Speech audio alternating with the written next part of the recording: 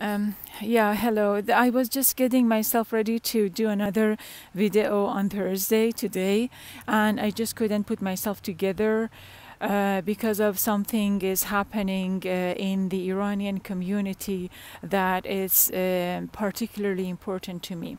So um, it's a big story in New York Times. Um, brave, brave, brave, fearless journalist uh, Masih Alinejad was basically saved from a, a, a kidnapping. There were three people, um, uh, three Iranian assets, um, uh, and then one particular person, Farahani, I think his name is, um, were plotting to um, uh, drive Masih to a third country, some, somewhere like Turkey, and basically kidnap her, kidnap her in Turkey.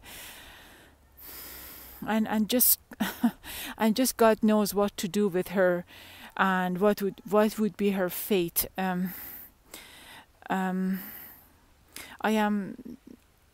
Mm, the whole thing really reminds me of Khashoggi and what happened to him.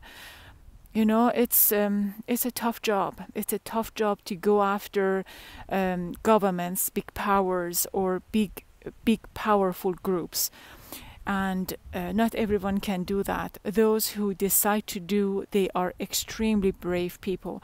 Just uh, just about uh, yesterday yesterday i'm sure i'm mispronouncing his name but peter der Veres, celebrity Dutch reporter, a crime reporter, uh, was gunned down by two men and then he couldn't survive. He, he died he died today. And he was um, reporting on crime and, and, and on big powers. Um, again it's it's a tough job and uh, my my salute i truly i mean first i am absolutely absolutely so happy that uh, Masih was uh, survived I just I just don't know how he she's uh, she's coping and dealing with this atrocity. Um, God God help her.